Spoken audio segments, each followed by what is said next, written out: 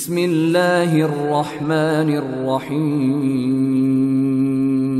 யாரு மார்க்கறிவை கற்றுக்கொள்வதற்கான ஒரு பாதையில் செல்கிறாரோ அவருக்கு அல்லாஹு தாலா சொர்க்கத்துக்குரிய பாதையை அல்லாஹ் தாலா இலகுபடுத்தி கொடுக்கிறதா நபி ஸல்லல்லாஹு அலைஹி வஸல்லம் அவர்கள் கூறினார்கள் எனவே இது போன்ற சபைகள் மார்க்கறிவை படிக்கிறதுக்கு நமக்கு ஒரு காரணம் அதே போன்று இந்த சபைகளின் சிறப்பையும் நபி ஸல்லல்லாஹு அலைஹி வஸல்லம் அவர்கள் அந்த ஹதீஸின் தொடரில் கூறுகிறார்கள் ஒமஜ்தமா கௌமும் ஃபீ பைத்தின் மின் புயூத்தில்லாஹ் يتلون كتاب الله ويتدارسونه بينهم إلا نزلت عليهم السكينة وغشيتهم الرحمة وحفتهم الملائكة وذكرهم الله في من عنده சொல்கிறார்கள் அல்லாஹுடைய மாளிகையில் ஒரு மாளிகையில் ஒரு கூட்டம் ஒரு சிலர் ஒன்று கூடி குர்ஆனை ஓதுகிறார்கள் குர்ஆன் இருக்கக்கூடிய விடயங்களை அவர்கள் படித்துக் கொள்கிறார்கள் அப்படி இருந்தன்னு சொன்னால் அவர்களுக்கு என்ன கிடைக்கும் சக்கீனத் இறங்குகிறது அவர் ரஹ்மத் அல்லாஹ் ரஹ்மத் அவர்களை மூடிக்கொள்கிறது.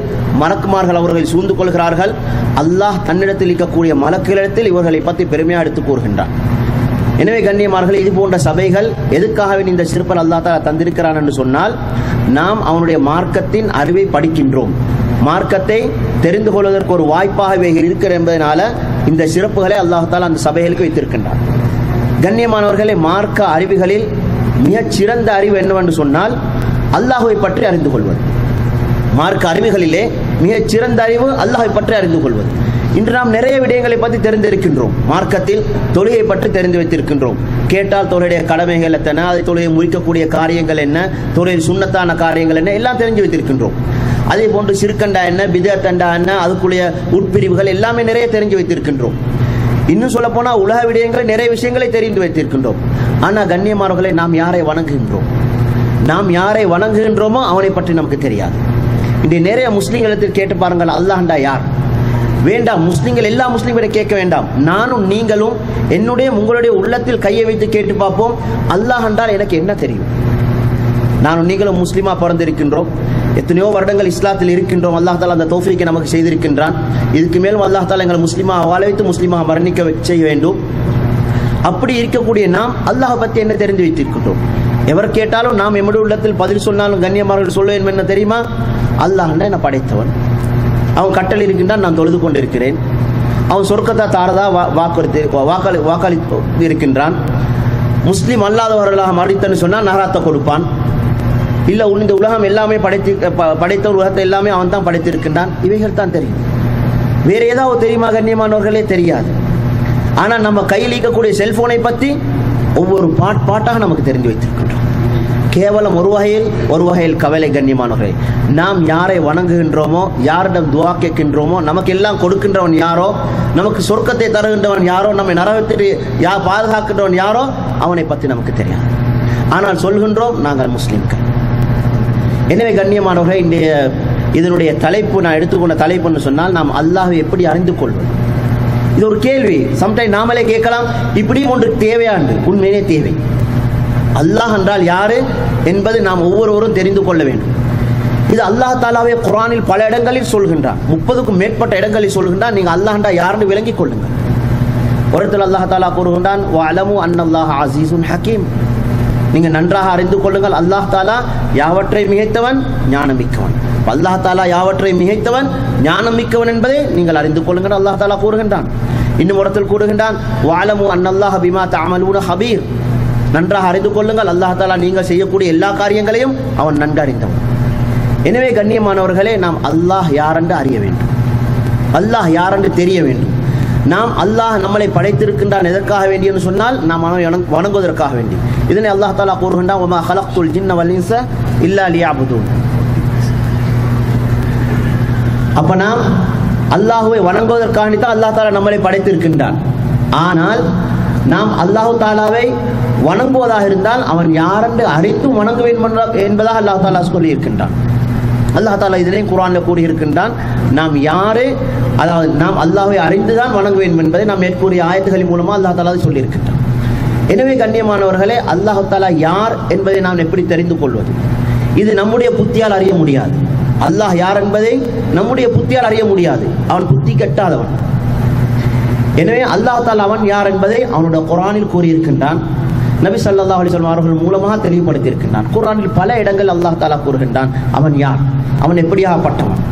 நாம் எல்லோரும் அன்றாடம் தினமும் ஓதுகின்ற ஒரு ஆயத். இதை ஒரு முஸ்லீம் ஒரு நாளைக்கு எட்டு முறை ஓத வேண்டும். ஐங்கால ச- சலாவுக்கு பின்னால் ஒவ்வொரு தொழுகைக்கு ஃபரதான தொழுகைக்கு பின்னாலும் ஒவ்வொரு தடவை ஓதுகின்றோம். காலையில் ஒரு தடவை மாலையில் ஒரு தடவை ஓதுகின்றோம். தூக்கத்துக்கு முன்னாடி ஓதுகின்றோம். இதுக்கு தான் நாம் கூறுகின்றோம் என்ன? ஆயத்துல் குர்சி. ஆயத்துல் குர்சிக்கு பேரே ஆதமு ஆயத்தின் ஃபி கிதாபில்லா. குரானில் ஈக்கக்கூடிய மிக மகத்தான ஆயத். ஏன்னு சொன்னா கண்ணியமானவர்களே ஆயத்துல் குர்சி முழுக்க முழுமையாக ஆரம்பத்தில் இந்த இறுதி வரை அல்லாஹ் யார் என்பதை தான் எடுத்துக் கொடுக்கிறார் அல்லாஹ்வின் தௌஹீதை பற்றி கூறுகிறது. சூரத்துல் இஹ்லாஸ். குல் ஹுவல்லாஹு அஹத். அல்லாஹ்வை பற்றி மாத்திரமே எடுத்து கூறுகிறது. குர்ஆனில் எந்த ஒரு ஆயத்திலும் அல்லாஹ் அவனை பற்றி சொல்லாமல் விடவில்லை. குர்ஆனில் எல்லா ஆயத்திலும் அல்லாஹ் அவனை பற்றி யாருன்னு சொல்லி இருக்கின்றான். ஆனா அப்படி இருந்தும் கண்ணியமானவர்களே நமக்கு நமக்கு அல்லாஹ் யாருன்னு தெரியாது. எனவே அல்லாஹ் யாருன்னு தெரிவதற்கு கண்ணியமானவர்களே மிகச் சிறந்த மிகச் சிறந்த ஒரு வழியாக உலமாக்கல் குர்ஆனை சுண்ணாவை ஆய்வு செய்த உலமாக்கல் எடுத்து கூறுகிறார்கள் என்று சொன்னால் அல்லாஹ் அவனுக்கென்று கூடியிருக்கின்றான் அஸ்மாவுல் ஹுஸ்னாக்கள். அல்லாஹ்வுடைய அழகிய திருநாமங்கள். இவைகளின் மூலமாக நாம் அல்லாஹ் யாருன்னு விளங்கிக் கொள்ளலாம்? இவைகளை அல்லாஹ் தாலா குரானில் அடிக்கடி சொல்லி இருக்கின்றான் குரானில் பெரும்பாலான ஆயத்துகளின் இறுதிகளில் இந்த அஸ்மால் ஹுஸ்னாக்கள் ஏதாவது ஒரு ஒரு பேரின் மூலம் அல்லாஹ் தாலா முடித்திருக்கின்றான். இன்று ஒரு சிலருக்கு அஸ்மால் ஹுஸ்னாண்டா என்னென்றே தெரியாமல் இருக்கின்றோம். ஒரு சிலர் அஸ்மால் ஹுஸ்னாண்டா ஒப்போசிட்டா விளங்கி இருக்கின்றோம். கண்ணிமாரே அஸ்மால் ஹுஸ்னா என்பது அல்லாஹு தாலாவுக்கு இருக்கக்கூடிய அழகிய திருநாமங்கள். இது அல்லாஹு தாலா குரானில் அவனுக்கு அழகிய திருநாமங்கள் இருப்பதாக நான்கு இடங்களில் கூறுகின்றான். சுரத்தில் அராஃபில் அல்லாஹ் தாலா கூறுகின்றான் வலில்லாஹில் அஸ்மாஉல் ஹுஸ்னா ஃபதுஊஹு பிஹா. அல்லாஹு தாலாவுக்கு அழகிய திருநாமங்கள் இருக்கின்றது. நீங்கள் அவைகளை கொண்டு அவனிடம் துவா கேளுங்கள் அவனை அலையுங்கள் அவனை வணங்குங்கள் என்பதாக அல்லாஹு தாலா கூறுகின்றான். இன்னும் சூரத்துல் இஸ்ராவில் கூறுகின்றான். சூரத்து தாகாவில் கூறுகின்றான் சூரத்துல் ஹசரில் கூறுகின்றான். அந்த ஆயத்தை எல்லாம் நான் ஓதி காண்பிக்கவில்லை நேர நேர பற்றாக்குறைக்காக வேண்டி. எனவே கண்ணியமானவர்களே இந்த அஸ்மால் ஹுஸ்னாக்கள் அல்லாஹு தாலாக்கு இருக்கின்றது. அஸ்மால் ஹுஸ்னாண்டா என்ன? அஸ்மால் ஹுஸ்னாண்டா கண்ணியமானவர்களே நாம் இங்கே எல்லாரும் வந்ததுக்கு பின்னால் நிறைய பேர் அரபி வார்த்தை தெரிஞ்சிருக்கின்றோம். இஸ்மண்டு தெரிஞ்சிருக்கின்றோம். இஸ்மண்டா பெயர். அந்த இஸ்மண்ட வார்த்தைக்கு பன்மை சொல் தான் அஸ்மா பெயர்கள்.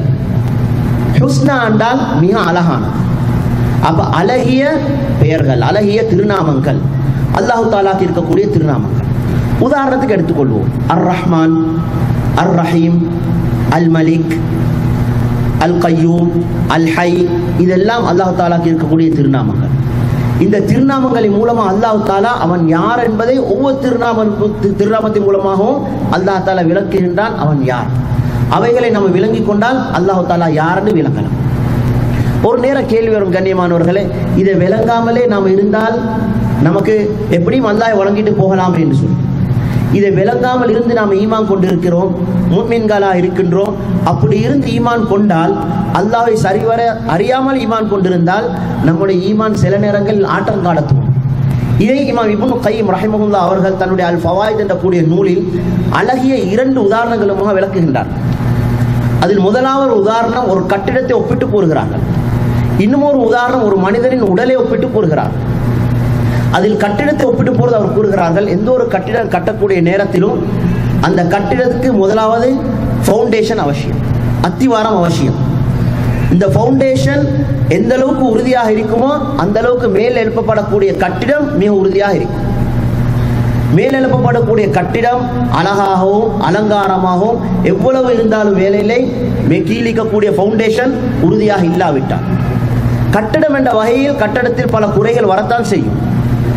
சில நேரங்களில் கட்டிடத்தில் வெடிப்புகள் வரலாம் உடசல்கள் வரலாம் இல்ல காற்றடிக்கக்கூடிய நேரத்தில் அதால் பல தாக்கங்கள் வரலாம் மழை வீசக்கூடிய நேரத்தில் அதில் பல தாக்கங்கள் வரலாம் அல்ல காட்டத்தின் காலத்தின் ஓட்டத்தால் கட்டிடம் பழைமையடைந்து பல வெடிப்புகள் நிறைய விதயங்கள் வரலாம்.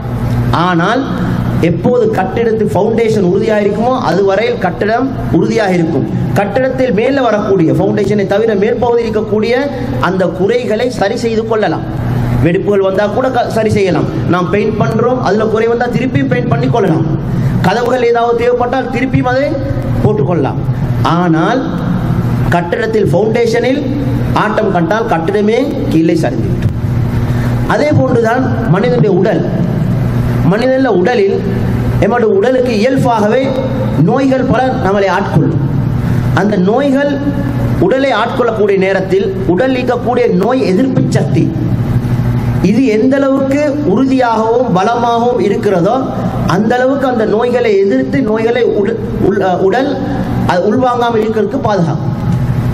அதுபோன்றுதான் கண்ணியமானவர்களே இந்த எங்களுடைய ஈமான் எங்களுடைய ஈமான் எந்த அளவுக்கு உறுதியாக இருக்குமோ அந்த அளவுக்கு எங்கள் அமல்களை பாதுகாக்கும்.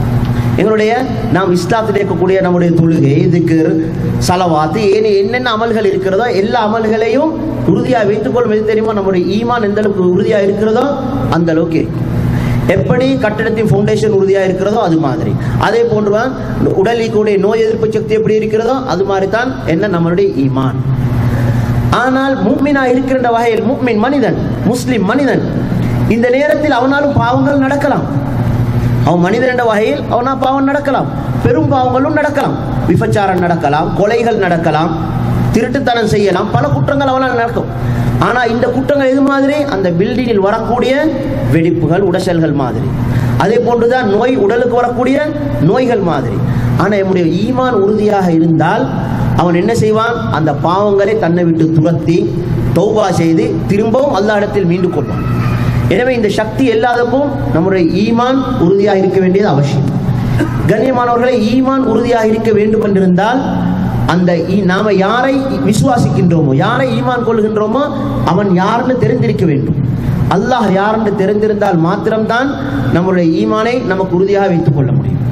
எனவே கண்ணியமானவர்களை இதை விளங்கப்படுத்தும் மூலமாக மூலமாகத்தான் நமக்கு என்ன அஸ்மால் ஹுஸ்னாக்களை நாம் தெரிந்து கொள்ள வேண்டும். இந்த தலைப்பு வந்து பெரிய நீண்ட தலைப்பு. இதுக்குள்ள நமக்கு பேசி முடிக்க முடியாது. ஏன்னா அல்லாஹ்வின் திருநாமங்கள் நம் எண்ணி அடங்காத திருநாமங்கள் இருக்கின்றது. பொதுவாக நாம் இன்னும் நிறைய தெரிந்து வைத்திருக்கின்றோம். தொண்ணூத்தி ஒன்பது திருநாமங்கள் இருப்பதால் தெரிந்து வைத்திருக்கின்றோம். தொண்ணூத்தி ஒன்பது திருநாமங்களுக்கு சிறப்பு ஹதீஸ் வந்திருக்கிறது. அபு ஹுரேரா ரதையில்லான் அவருடைய அறிவிப்பு வருகிறது. புகாரியில் வரக்கூடிய வரக்கூடிய அறிவிப்பில் இன்னில்லாஹி திஸ் அதன் வதிஸ் இஸ்மன் மிஅத்தன் இல்லா வாஹிதன் மன் அஹ்சாஹா தஹலல் ஜன்னah அல்லாஹு தாலாவுக்கு நூறு திரு தொண்ணூற்றி தொண்ணூத்தி ஒன்பது திருநாமங்கள் இருக்கின்றது. அந்த திருநாமங்களை ஒருவர் மரணமிட்டால் அவர் சுரக்கம் நுழைந்து விடுவார். அப்படி என்ற அர்த்தம் தொண்ணூத்தி ஒன்பது திருநாமங்கள் மாத்திரம்தான் இருக்கின்றது அல்ல அதுக்கு மேற்பட்ட திருநாமங்கள் நிறைய இருக்கிறது. ஆனா தொண்ணூத்தி ஒன்பது திருநாமங்களை ஒத்- ஒருவர் சரிவர மரணம் மரணம் ம- இட்டால் அவர் அது அது கொண்டு சொர்க்கம் போவார். அதனுடைய மனநம் என்பதுடைய அர்த்தம் வெறுமனே அந்த தொண்ணூத்தி ஒன்பதை பாடமாக்கி வைக்கிறதெல்லாம் அர்த்தம். தொண்ணூத்தொன்பது திருநாமங்களை தெரிந்திருக்க வேண்டும். அதற்கு பின்னால் அதனுடைய பொருள்களை அறிந்திருக்க வேண்டும். அதன்படி அமல் செய்திருக்க வேண்டும். அதன்படி அமல் செய்வதென்றால் கண்ணியமானவர்களை அர்த்தம் அது என்னன்னு சொன்னால் நான் தொண்ணூத்தி ஒன்பது திருநாமங்களை வைத்து எப்படி அமல் செய்வது? அல்லாட ஒவ்வொரு திருநாமத்தின் நான் அமல் செய்ய வேண்டும். அத்த அல்லா தலா கூறுகின்றான் ஃபதுஉஹு அவைகளை கொண்டு நீங்கள் துவா செய்யுங்கள். பிரார்த்தனை செய்யுங்கள்.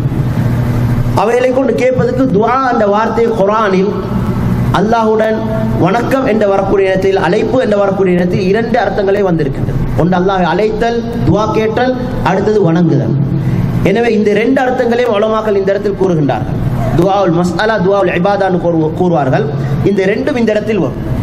அப்படின்னு சொன்னா எப்படி? உதாரணமாக நாம குரான் நாம சூரத்துல் ஃபாத்திஹா ஆரம்பத்தை எடுத்து பாருங்க. அதுக்கு மேல பிஸ்மில்லாஹி ரஹ்மான் ரஹீம். அல்லாஹ் தாலா அர் ரஹ்மான் என்று சொல்லியிருக்கின்றான் சொல்லி இருக்கின்றான் அர் ரஹீம் என்று சொல்லி இருக்கின்றான் அர் ரஹ்மான் அர் ரஹீம் என்றா கருணை உள்ளவன் இரக்கம் உள்ளவன் அன்பானன் இதை கொண்டு நான் இபாதத். இது நான் வணக்கமாக இந்த பெயரை எடுத்துக்கொள்வது எப்படின்னு சொன்னால் அல்லாஹ் கருணை உள்ளவன் என்ற பெயர் அல்லாஹ் தாலாக்கு இருக்கிறது. அவன் என்னோடு இறக்கமானவன் எனக்கு கருணை செலுத்துகின்றான் எல்லா படைப்புகளுக்கும் அவன் கருணையாளன். காஃபிர்களை கூட காஃபிர்களுக்கு கூட அல்லாஹ் தாலா ரஹ்மத் செய்கின்றான். கருணையாளன் காஃபிர்கள் கூட அவன் ரஹ்மத் செய்கின்றான். ஆனால் இதை கொண்டு நான் எப்படி அவளிடத்தில் துவா கேட்பது? இந்த கண்ணியமானவர்களே இந்த இபாதத் சுமாராக இல்லை. மக்களிடத்தில் இல்லை என்ற அளவுக்கு போயிட்டு. குர்ஆனை பிரட்டி பாருங்க நபிமார்கள் இந்த அஸ்மால் ஹுஸ்னாக்களை வைத்து துவா கேட்டிருக்கின்றார்கள் இது நாம் நிறைய பார்க்கின்றோம். நாம் இன்றைய துவா கேட்கக்கூடிய இடத்தில் அப்படி கேட்பதே இல்லை. எந்த அல்லாஹ் தாலுடைய திருநாமம் எதற்கு பொருத்தமாக இருக்கிறோ அதை வச்சு நாம் துவா கேட்க வேண்டும். அதாவது யா அல்லாஹ் நீ நீ அன்பாளன் நீ எனக்கு அன்பு காட்டுவாயாக. யா ரஹீம் இர்ஹம் நீ என்று கேட்கிறது. அதான் நீங்க பார்க்கலாம். ஐயூப் அலை சலாத்துடைய துவால் கூறுகின்றார்கள். அவர்கள் வந்து அதாவது எனக்கு திருவாசனம் ஞாபகம் வரவில்லை. அந்த தொடரில் அவர் கூறி கூறி- கூறக்கூடிய நேரத்தில் கூறுகின்றார்கள் வாந்த ஹைரூர் ராஹமீன். யா நீ எனக்கு அன்பு செலுத்து நீ அன்பு காட்டக்கூடியவர்கள் எல்லாம் மிகவுமே அன்பாலம். இப்படி நம்ம நிறையக்கூடிய இப்ராஹிம் அலைஹிஸ்ஸலாம் அவர்கள் தன்னுடைய மகனோடு சேர்ந்து காபாவை கட்டுகிறார்கள். கட்டிவிட்டு என்ன கூறுகின்றார்கள்? ரப்பனா தகப்பல் மின்னா இன்னக அந்த சமீஉல் அலீம் வதுபு அலைனா இன்னக அந்த தவ்வாபுர் ரஹீம் யா நீ எங்களிடத்திலிருந்து இதனை ஏற்றுக்கொள். ஏன்? இன்னக அந்த சமீஉல் அலீம் நீ யாவற்றையும் செவிமடிக்க கூடியவன் யாவற்றையும் அறிந்தவன். எனவே நான் இது யாருக்காக செய்திருக்கின்றோம் என்பதை நீ அறிந்திருக்கின்றாய். எனவே நீ இதனை ஏற்றுக்கொள். வத்துபு அலைனா நீ எங்களுக்கு தௌபாவை அழித்து விடு பாவங்களை நீ மன்னித்து விடு ஏன்? இன்னக்க அந்த தவ்வாபுர் ரஹீம் நீ பாவங்களை மன்னிக்கக்கூடிய. எனவே இந்த இபாதத் நாம ரிஸ்கை கேட்கின்றோம் அல்லாஹ்விடத்தில் யா அல்லாஹ் நீ ரஸ்ஸாக் நீ எல்லாவற்றுக்கும் ரிஸ்க் கொடுக்கக்கூடியவன் எனக்கும் ரிஸ்கை தந்துவிடு. என்று இப்படி கேட்க வேண்டும். இது வந்து துவாவுல் இபாதான்னு சொல்கின்றோம். துவால் மசாலான்னு சொல்லுவோம் இந்த ரெண்டு விதத்திலேயும் நாம் இதை தெரிந்து கொள்ள வேண்டும்.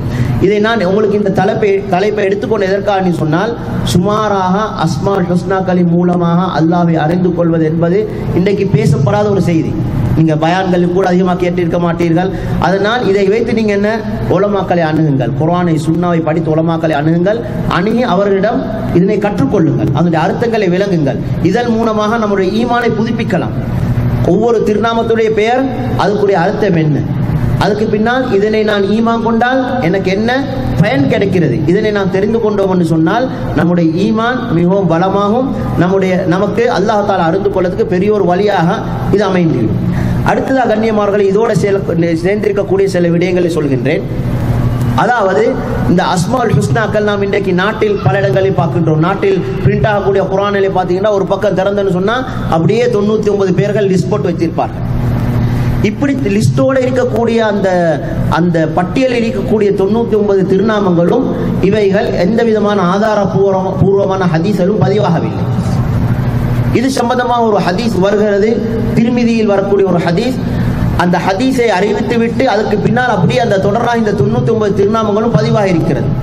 இதனை எடுத்துக்கொண்டு தான் என்ன?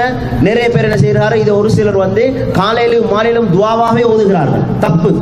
அஸ்மா ஹுஸ்னாக்கள் எங்கேயுமே துவாவாக ஓதுறதுக்கு ஹதீஸ்கள் வந்தது கிடையாது. அதே போன்று தான் அவைகளை வீட்டில் அப்படியே தொங்க வைத்து அலங்காரம் பார்க்கறதுக்காக வந்ததும் கிடையாது. இப்படி நம்ம வீடுகள் எல்லாம் என்ன செய்யறோம் என்ன செய்யறோம் அப்படியே எடுத்து நம்ம தொங்க விட்டு விடுகின்றோம். வீங்கி விட்டு அதை அலங்கா அலங்காரமா பார்க்கின்றோம். இதோடைய ஒரு விஷயம் தான் ஞாபகம் வந்த நான் கூறுகின்றேன்.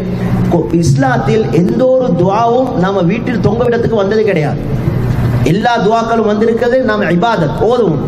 அதை படிக்கணும். சந்தர்ப்பங்களில் அதை நாம் ஓதுறதுக்கு தான் வந்திருக்கிறது. சில நேரங்களில் நாம சில விஷயங்களை ஸ்டிக்கராக வைத்திருக்கிறோம். ஒரு ஞாபகம் மூட்டலுக்குன்னா அது வேற விஷயம். நம்ம ஓதுறதுக்கு அதை கண்டா ஞாபகம் வரும் என்று இருந்தா வீட்டிலேருந்து வெளியே போறோம் டோரெல்லாம் அடிச்சிருக்கிறோம் வீட்டிலேருந்து போய் வெளியே போகக்கூடிய துவாவை அப்படின்னு சொன்னா அது ஞாபகத்துக்காண்டியா பரவாயில்ல. இல்ல அலங்காரத்தை நல்லா டெக்கரேட் பண்ணி அடிச்சு வச்சிருக்கிறோம்னு சொன்னா இப்படி ஒன்று இஸ்லாத்துல கிடையாது. இஸ்லாத்தில் எல்லா துவாவும் வந்திருக்கிறதுக்காக வேண்டியன்னு சொன்னால் நாம் அதை இபாதத் செய்வதற்கு தான். இன்னைக்கு நவீனமாக எல்லாம் வந்தாச்சு. நீங்கள் காரில் கீயை போட்டு ஸ்டார்ட் பண்ணால் அதுக்கு பின்னால் ரெக்கார்டிங்னு சுபாங்களதையும் சஹர்லனா தான் போகும் சுபஹான்லதி சஹர்லனா கார் ஓதுறதுக்கு வரல. கார் ஓட்டுற டிரைவர் ஓதுறதுக்கு தான் வந்திருக்கிறது. இப்போ அது மாதிரி தான் வீட்டுக்கு போனீங்கன்னு சொன்னால் பெல் அழுத்தம் பெல்லே வந்தாச்சு. அஸ்லாம் அலைக்கும்டா சொல்றது அஸ்லாம் அலைக்கும் இருக்கக்கூடிய இயந்திரம் சொல்றதுக்கு வரல. நாம தான் அஸ்லாம் அலைக்கும் சொல்றது வந்திருக்கிறது. எனவே நாம தான் அந்த துவாக்களை ஓதணுமே தவிர இதை வந்து என்ன இயந்திரங்களுக்கோ ஏனே இதுக்கோ டெக்கரேட்டுக்கோ இஸ்லாத்துல எந்த இதுவும் வரல. அப்படி செய்யறது தப்பு. எனவே கண்ணியமானவர்களே இந்த தொண்ணூத்தி ஒன்பது திருநாமங்களும் இது காலையில் மாலையில் ஓதுறதுக்காக வேண்டியோ வேற எதற்கும் வரல. இது வந்தது அதை நாம் தெ- தெரிந்து கொள்ள வேண்டும். நாம் அதன் அர்த்தங்களை புரிய வேண்டும். நாம் அதன்படி அமல்படுத்த வேண்டும். அதற்கான தான் இந்த தொண்ணூத்தி ஒன்பது திருநாமங்கள். அதில் அந்த தொண்ணூத்தி ஒன்பது திருநாமம் அதற்குரியதான் சிறப்பு. மற்றும்படி இந்த லிஸ்ட் வந்ததுல எந்த ஆதாரமும் இல்லை. அந்த லிஸ்ட்ல இருக்கக்கூடிய ஒரு சில பெயர்கள் இருக்கிறது. அது குர்வான்லயோ ஹதீஸ்லயோ வரல. அல்லாஹ் தாலாவுடைய திருநாமங்களை நாமளாக விரும்பி உருவாக்க முடியாது. அது அல்லாஹ் தாலா குரான் சொல்லி இருக்கணும் அல்லது நபி சல்லா அலைஹி வஸல்லம் சொல்லி இருக்கணும் இருந்தா தான் அந்த பெயர்களை நாம் அல்லாஹ் தாலாவுடைய திருநாமங்கள்லாம் ஏற்றுக்கொள்ளலாம். ஏன்னா அல்லாஹ் தாலா பற்றி அறிந்தவன் அல்லாவும் அதுக்கு பின்னால் அல்லாஹ் தாலாவுடைய தூதரும் தான் அல்லாஹ் தாலா அறிவித்து கொடுத்ததுனால. எனவே அந்த பெயர்கள் நீங்க தி- வரக்கூடிய அந்த லிஸ்டில் அல் முன்தகிம் என்ற ஒரு பேர் இருக்கும். அதுக்கு ஆதாரம் கிடையாது. அர் ரஷீத் என்ற ஒரு பேர் இதுக்கெல்லாம் ஆதாரம் கிடையாது. எனவே நிறைய பேர்கள் இதுக்கு அப்பாற்பட்ட இன்னும் பல பேர்கள் இருக்கிறது அதுக்கு ஆதாரங்களே கிடையாது. எனவே தான் அந்த இருக்கக்கூடிய அந்த தொண்ணூத்தி ஒன்பது பேரையும் எடுத்துக்கொள்ள முடியாது. இது தவிர அல்லாஹு தாலாவுக்கு தொண்ணூத்தி ஒன்பதுக்கு மேற்பட்ட இன்னும் பேர்கள் இருக்கிறதா என்று சொன்னா இருக்கிறது. அது எத்தனை? அல்லாஹு ஆலம். நமக்கு தெரியாது. நமக்கு தெரியாத அளவு தெரியாத அளவுக்கு அல்லாஹு தாலாவுக்கு பேர்கள் இருக்கிறது. அதுக்கு ஆதாரமாக உலமாக்கள் பல ஆதாரங்களை கூறுகிறார்கள். ஆயிஷா ரதையல்லான்ஹா கூறுகிறார்கள். இந்த ஹதீஸ் புகாரில் பதிவாக இருக்கிறது இரவில் நான் நபி சல்லா அலுவலம் அவர்கள் தூங்கிக் கொண்டிருந்தேன். அதுக்கு பின்னால் நபி சல்லா அலுவலம் அவர்களை தேடி பார்த்தேன் காணவில்லை. கையை ஓட்டி பார்த்தேன் ஓட்டி பார்த்தால் நபி சல்லா அலுவலம் அவர்கள் தொழுகை இருக்கிறார்கள். தொழுகையில் அவருடைய கால் பாதங்களில் உட்பகுதி என்னுடைய கையின் உட்பகுதியில் பட்டது. அப்போது பார்த்தா நபி சல்லா அலுவலம் அவர்கள் சுஜூதில் இருக்கிறார். நபி சல்லா அலைஹி அவர்கள் அந்த நேரத்தில் துவான் கேட்கின்றார்கள். அல்லாஹ் அல்லாஹ் மின்னி பி பிரதாக மின் சஹதிக் வ பிமுஆஃபாதிக மின் உகூபதிக் வ உன் பி கமிக் ல லா சனா அன் அலைக அந்த கமா அஸ்னைத் அலா நஃப்ஸிக். அந்த இறுதி துவா இந்த இறுதி பகுதியில் அர்த்தம் அதில் வச்ச உதார உலமாக்கள் ஆதாரமாக இருக்கின்றார்கள் அல்லாஹும் லா சனா அன் அலைக அந்த கமா அஸ்னைத் அலா நஃப்ஸிக். யா அல்லாஹ் எனக்கு உன்னாய் புகழ முடியாது. உன்னை நான் எவ்வளவு புகழ்ந்தாலும் எனக்கு உன்னை புகழ முடியாது. நீ உன்னை எவ்வாறு புகழ்ந்திருக்கிறையோ இரு- இருக்கின்றாயோ அது மாதிரி தான் நீ இருக்கின்றாய். இதில் உலமாக்கள் கூறுகிறார்கள் நபி சல்லாஹ் அலி செல்லம் அவர்களுக்குத்தான் அல்லாஹ் தாலா புகழக்கூடிய எல்லா வார்த்தையும் படிச்சு கொடுத்தது. அவர்களை கூறுகிறார்கள் யாரெல்லாம் எனக்கு உன்னை புகழ்ந்து முடிக்க முடியாது. புகழ்ந்து முடிக்க முடியுமா இருந்தால் நபி சல்லா அலைஹி அவர்கள் அந்த வார்த்தையை எல்லாம் கொட்டி புகழ்ந்திருப்பார்கள். அதனால் அல்லாஹ் தாலா புகழ யாருக்கும் எவ்வளவு புகழ்ந்தாலும் முடியாது. இதிலிருந்து இந்த எடுக்கின்றார்கள் அல்லாஹ் தாலாக்கு இன்னும் பல திருநாமங்கள் இருக்கிறது. இன்னும் ஒரு துவா வருகிறது. கவலையுடைய நேரத்தில் ஓதக்கூடிய ஒரு துவா. அல்லாஹ் மின்னி அபுதுக் இபுனு அபுதிக் இபுனு அமதிக் நாசியதி பியதிக் மாதும் ஃபிய ஹுக்முக் அதுலும் ஃபிய கதாவுக் இப்படி தொடர் துவால வருது. அதுல அல்லாஹ் மின்னி அஸ்அலுக பிகுல்லி இஸ்மின் சம்மைத்த பிஹி நஃப்சக் யா நீ உனக்கு என்னென்ன பேர்களை சூட்டி இருக்கிறாயோ அந்த எல்லா பேர்களையும் பொருட்டா நான் உன்னிடம் கேட்கின்றேன். அவிஸ்தர்த்த பிஹி ஃபி இல்மில் ஹைபி ஐந்தக் அல்லது நீ உன்னிடத்தில் மறைவான அறிவில் நீ உன்னிடத்தில் தேர்ந்தெடுக்கக்கூடிய எல்லா பெயர்களை கொண்டும் அவ் அல்லம் தவு அஹதம் மின் ஹல்கை. அல்லது உன்னுடைய படைப்புகளில் நீ யாருக்கெல்லாம் படித்து கொடுக்கின்ற படித்து கொடுத்திருக்கின்றாயோ அது நமக்கு தெரியாது. அவ் அன்சல் தஹு ஃபி கிதாபிக். அல்லது உன்னுடைய வேதத்தில் நீ எடுத்து வை- இறக்கி வைத்திருக்கக்கூடிய. எவனே அவ் அவிஸ்தர்த்த பிஹி ஃபி இல்மில் கைபி ஐந்தக் இந்த வார்த்தையை வைத்து உலமாக்கள் கூறுகின்றார்கள் அல்லாஹ் தாலா தன்னுடைய மறைவான அறிவில் தனக்கண்டு நிறைய பேர்களை வைத்திருக்கிறார் எனவே அல்லாஹ் தாலாக்கு எத்தனை பேர்கள் இருக்கிறது? நமக்கு தெரியாது. எனவே கண்ணியமானவர்களே இந்த பெயர்களை நாம் தெரிந்து கொண்டால் நாம் அல்லாஹை சரிவர அறிந்து கொள்ள முடியும். இது என்னென்ன பெயர்கள் இருக்கிறதோ இவை எல்லாம் ஆதாரபூர்வமாக நாம் தெரிந்து கொள்ளணும்னு சொன்னால் அல்லாஹ் தாலா நமக்கு அறிந்து கொள்ள முடியும்.